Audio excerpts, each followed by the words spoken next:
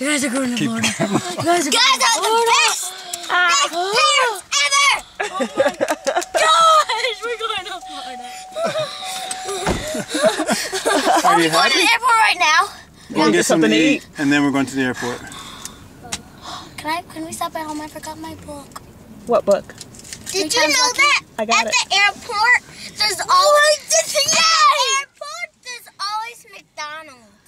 Well, we're going to go to somewhere before we get to the airport. okay! Ah! I'm going to have a heart attack. How about that no, for a surprise? Not have a heart attack. My body is like putting some paper I just can't leave it up. So it can be broken. I like Either way, Florida. Florida. We're going to Florida and then we're going to the Disney cruise. Are you kidding me?